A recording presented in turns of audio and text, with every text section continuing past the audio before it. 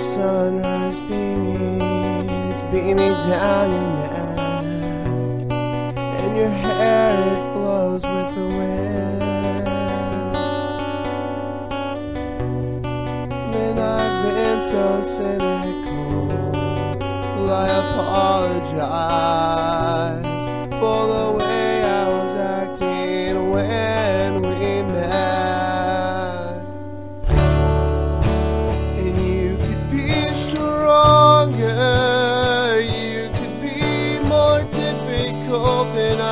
ever been.